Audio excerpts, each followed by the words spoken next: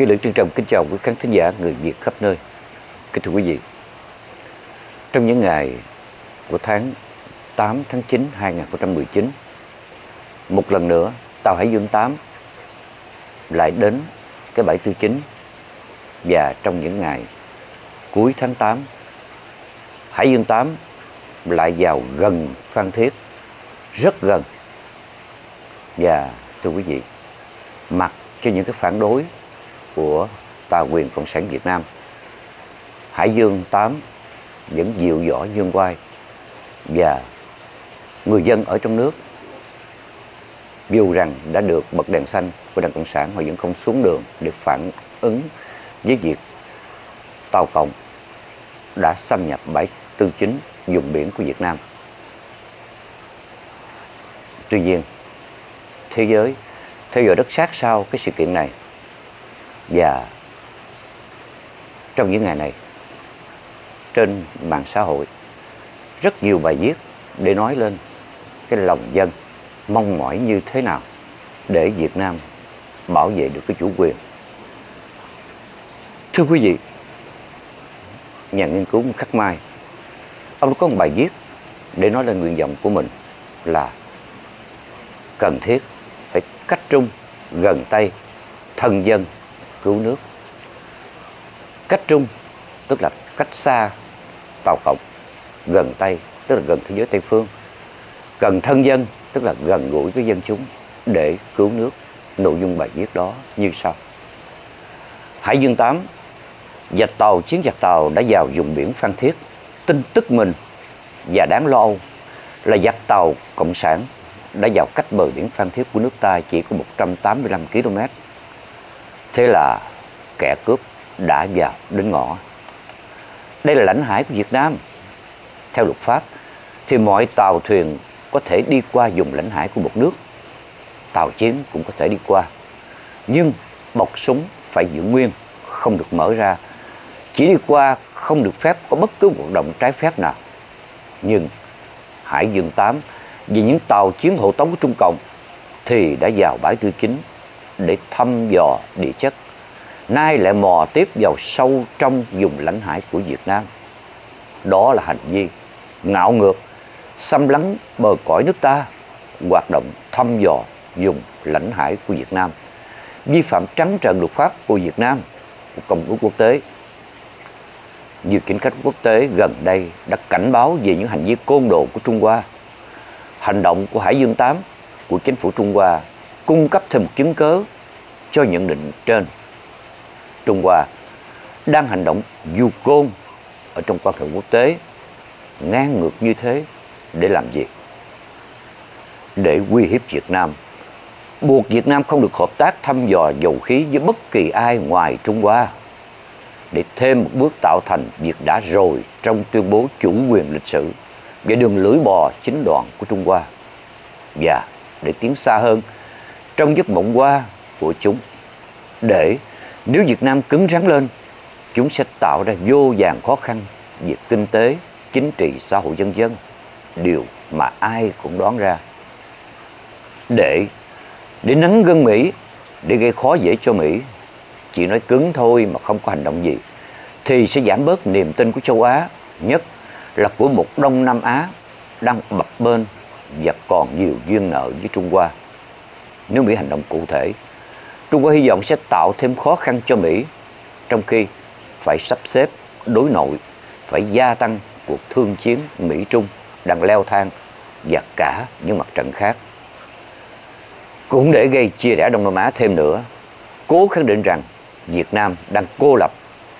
Nếu Đông Nam Á không đàng hoàng lên có tiếng nói mạnh mẽ hơn để cảnh báo chính sách thực dân mới của Trung Cộng mà vị thủ tướng già dặn Mahathir đã từng cảnh cáo. Nhưng cổ học Trung Hoa từng có câu, Người tính không bằng trời tính Trong tình hình thiên thời, địa lợi, nhân hòa hiện nay của thế giới và khu vực, thì Trung Hoa đang khát nước mà lại đi uống thuốc độc. Người Việt Nam không xuống đường, nhưng mọi người đều bấm bụng sôi gan trước hành động xâm lấn ngang ngược của Trung Hoa. Chánh quyền Việt Nam đang buộc phải cứng rắn lên và họ cũng đủ khôn khéo để lựa lời lựa thời. Thời điểm này, Trung Hoa đang gặp khó khăn gấp bội. Chúng đang lúng túng đối phó với vô vàng khốn nạn. Cái chữ khốn nạn là chữ Tàu nói về những khó khăn, còn chữ Việt thì lại chỉ sự khốn cùng của nhân cách, nhân tính. Chưa bao giờ, chưa bao giờ mà có nhiều người bên Việt Nam như hiện nay. Cũng chưa bao giờ xu hướng cách trung, gần Tây lại mạnh như hôm nay. Bọn thái thú nằm dùng đang bị dạch mặt. Bọn thờ tàu giả giờ câu tiễn liếm cức nhưng chưa cục đuôi hẳn. Nhưng cũng như con chó bị dội nước lạnh tìm cách giấu mặt chưa dám ho he.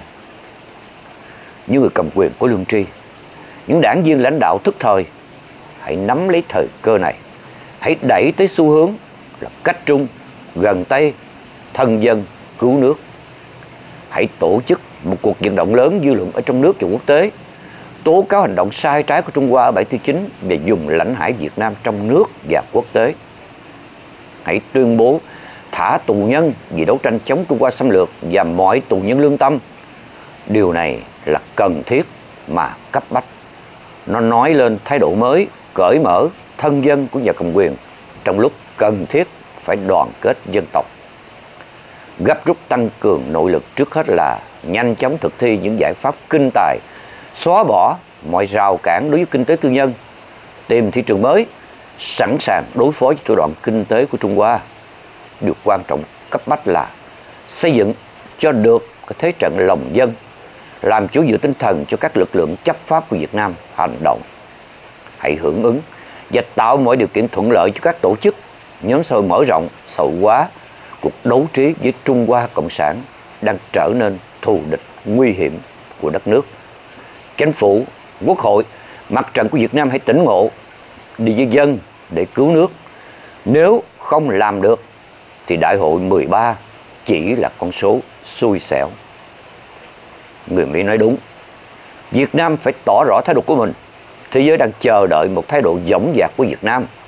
Hãy nói rõ cho thế giới biết là Việt Nam đang đứng trước một kiếp nạn mới có tên là kẻ cướp Trung Hoa ở Biển Đông. Kẻ cướp bao giờ cũng sợ sự chống trả quyết liệt của chủ nhà. Chúng cũng rất sợ tiếng la làng cướp, cướp, cướp làng nước ơi cướp cướp cái thưa quý vị đó là bài viết của nhà báo Nguyễn Khắc Mai lập quyền dân được viết vào ngày 26 tháng 8 2019 còn cây bút Nguyễn Ngọc Già thì dứt khoát với một cái tựa đề bài viết là cơ hội cuối cùng cho người cộng sản Việt Nam. Nội dung bài viết đó như sau. Ngày 14 tháng 2 2019, phóng viên Hòa Ái của đài RFA e đã viết bài Việt Nam sẽ nằm trong danh sách Hoa Kỳ mở rộng căn cứ quân sự ở khu vực châu Á-Thái Bình Dương. Ngày 25 tháng 8 2019, Việt Study với tác giả Nguyễn Quang Chi đã có bài Khủng hoảng bãi tư chính, bước ngoặt mới cho Việt Nam. Ở trong đó có đoạn Về đối ngoại, đối đầu và triển vọng là có thể mất bãi tư chính buộc Việt Nam phải nâng cấp quan hệ với Mỹ lên đối tác chiến lược và tái cân bằng quan hệ với Trung Quốc để bớt lệ thuộc hơn. Dự kiến là chuyến thăm Mỹ của Tổng bí thư Chủ tịch nước Phú Trọng vào tháng 10 2019 theo David Hurt là thời điểm hệ trọng để điều chỉnh chiến lược trước khi quá muộn. Nguyễn học Già nhận định với nhiều tình huống mới về đối nội và đối ngoại trong hai năm qua 2018 2019, Cộng sản Việt Nam cần xem tình hình hiện nay là cơ hội cuối cùng mở mặt đơn không có lần nào khác nữa nhé để cứu bản thân và dòng tộc khỏi cần nghĩ đến cứu non, cứu nước gì hết. Bởi vì bãi thì kính nói riêng và biển đông nói chung đã không còn ở trong khả năng quyết định của cộng sản việt nam nữa rồi.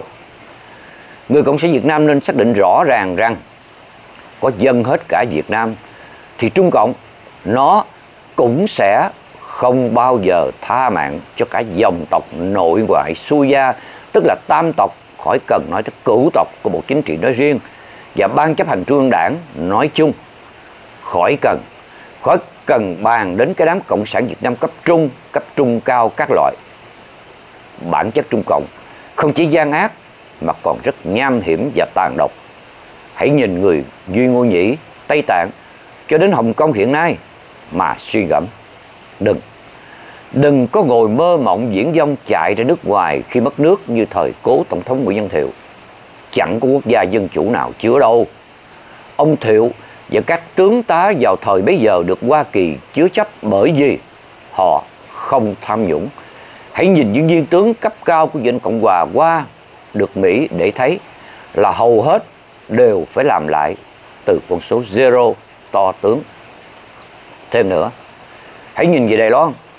Tại sao Tập Cận Bình hung hăng tới cỡ đó mà dân Đài Loan chẳng thèm xuống đường biểu tình gì hết?